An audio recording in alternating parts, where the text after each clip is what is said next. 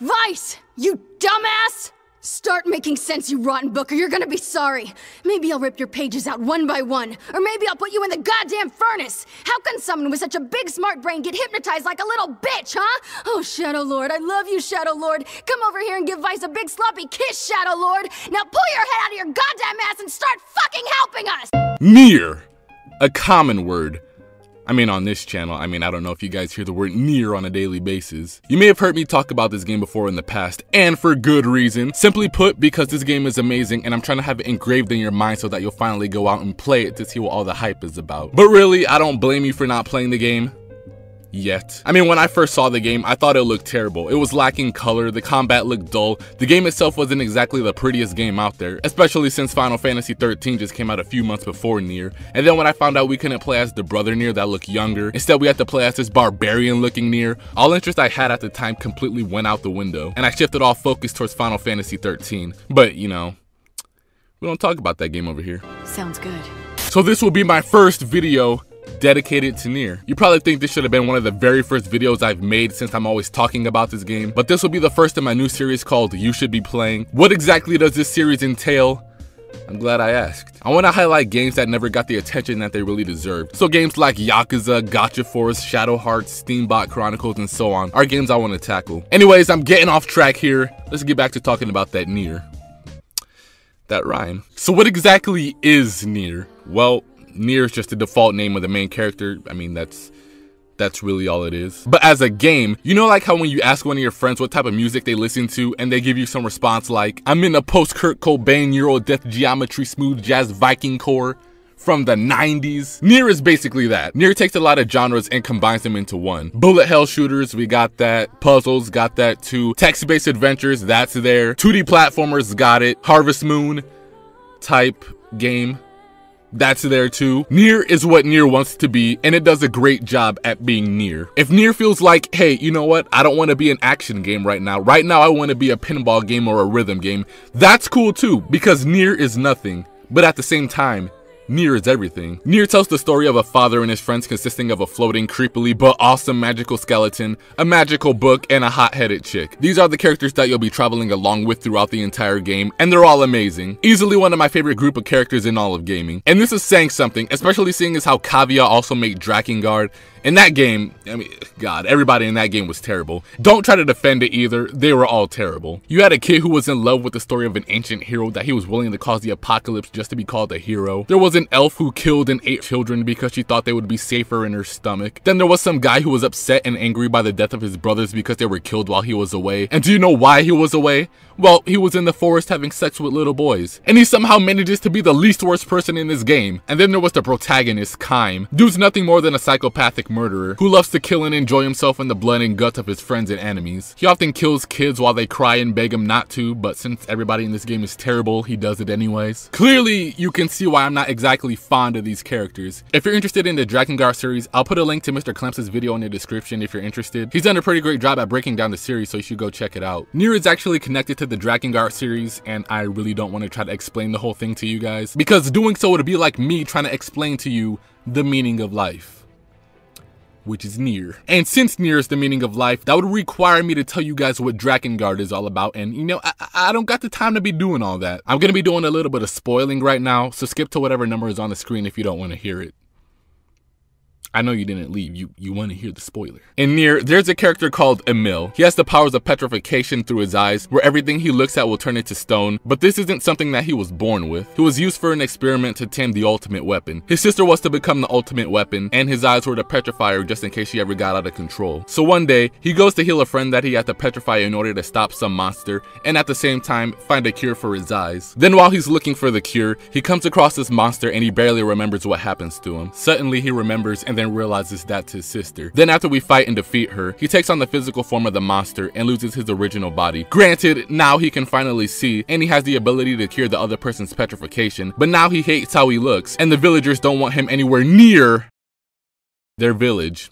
Okay, I'll stop. Because they think he's a monster, even though he saved them. And he's like the nicest person in the game who puts the well-being of his friends above himself. He doesn't turn into some evil character because of how poorly humans treated him in the past and currently. He's like, Nier, buddy, I get it, I'm some kind of monster. They don't want me anywhere near the village, and I really can't blame them. I mean, look at me. I'm a floating, smiling skeleton with powers that could destroy the world. So I'll set up a little camp outside the village and roast marshmallows until you're ready to go. That is how you do a character. It's like Cavia had a realization one day and was like, hey, uh, um, guys, maybe we should, uh, you know, make some characters that people actually like this time so that when shit hits the fan and our characters' backs are against the wall, people will care. And I do, because I was rooting for everybody throughout the entire game. Anyways, they're on a journey to find Nier's daughter to cure of the Black Scrawl disease. Nier thinks that the magical book Grimoire Weiss possesses the ability to cure his daughter from the disease, so off they go. That's basically the plot. Greatest story ever made, hands down. There was a moment after I completed this game where I needed another game to take me to that level that Nier did. I, I never found it, by the way, if you were wondering. Every other game's story just felt disappointing after experiencing just how great Nier's story was. Now, there tends to be two different opinions when it comes to this. Those who think that it's the greatest story of all time, and those who are wrong for not thinking it's one of the greatest stories of all time. Now, talking about the story any further would be spoiling the game, so I'm just gonna leave it at that. And really, I don't feel like reading through the five pages I originally wrote for this video because I wanna make this video as short as possible so I can play Dragon Quest Heroes 2. I'm joking, guys, calm down. Or am I? No! I want to play Dragon Quest Heroes 2 instead of making this video. Now, the gameplay is something I enjoy, but it's in no way amazing or anything. Nier at its core is an action game, even if it does get sidetracked a lot. The Shades are the main enemies of the game, and they're what you're basically going to be fighting throughout the entire game. Grimoire Weiss, the magical book, possesses magical powers that Nier can use throughout battle, and he'll unlock more as you level up. When using magic, the game will slow down greatly as you charge up your magic or aim. Nier uses three types of weapons. You can choose between daggers, staffs, or two-handed swords. Daggers are the weakest, but they're the quickest and make getting out of fights a lot easier. The two-handed sword will wipe away enemies with ease, but they're really slow. And the staff is good for reach and speed, but it only attacks straight and not horizontal like the dagger or the two-handed sword. The game itself is basically just side quest, and I know that sounds terrible, but it's really not. Why?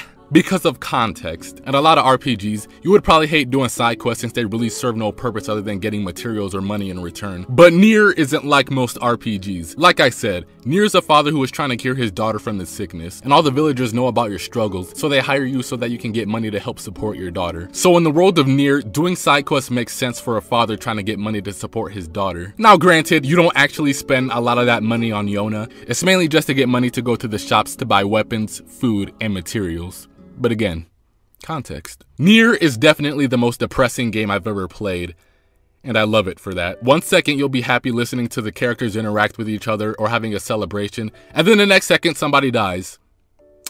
Brilliant. Easily the most depressing game I've ever played. Even in the side missions, a lot of the characters go either insane or die. I'll make terrible weapons, killing machines. No one can stop me! what the fuck? Sasuke? Before I end this video, there's one thing that Nier must be praised for. Even the people who haven't touched this game will tell you that Nier has one of the greatest soundtracks of all time. It's even gotten to the point where the developers are even upset by the fact that the soundtrack is more popular than the game itself. Like you wouldn't believe how amazing this soundtrack is. Like when you're going fishing, this is the type of music you get to listen to while fishing.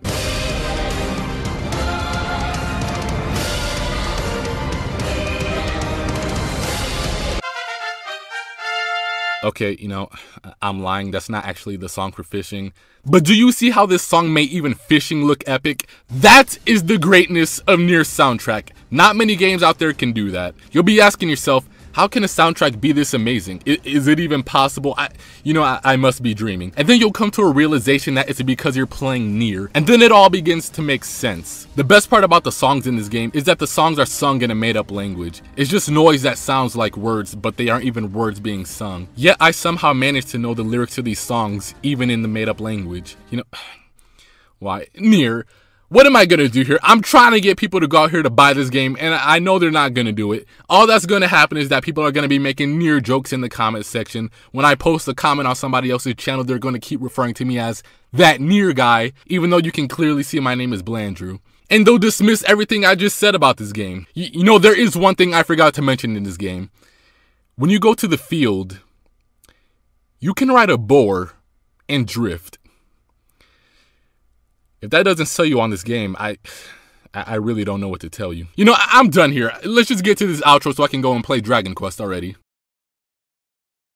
Nier is definitely not a perfect game and still has many aspects that could be improved upon in its sequel, such as the combat, the graphics, making more interesting side quests, and for the love of God, get rid of those text-based adventures. Luckily, Nier Automata seems to be looking visually good, and Platinum Games is doing the combat, so you know it's gonna be great. You won't find many games like Nier on the market these days. A game where you're rooting for our heroes to accomplish their goals, and you want them to succeed, and in typical Drakengard fashion, it messes with the player and makes you feel like an ass for everything you were doing. So when you go to replay it again, you'll have a completely different outlook on the game. Nier Automata is coming out soon, and you don't have to play this game to understand what's going on in that game, but come on guys, do this for me. I think you'll be pleasantly surprised and thanking me later on, just like others that I've introduced this game to. Nier Automata has a lot to live up to considering just how amazing its prequel was, but if it can really tug at the player's emotion and mindset, they give us more crazy twists and turns, the characters are good, and its music remains just as good or even better than the original, then you can bet I'll be there day one.